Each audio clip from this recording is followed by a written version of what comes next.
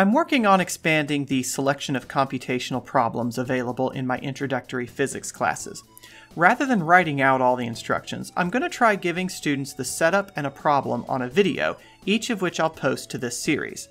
I'm particularly going to focus on subjects where Matter and Interactions by Chabay and Sherwood doesn't have many computational problems. If you're an educator teaching a similar class or would just like to try out something different, you're welcome to use these materials in your class as well. Or if you're a student, you're welcome to try out these problems as an additional challenge.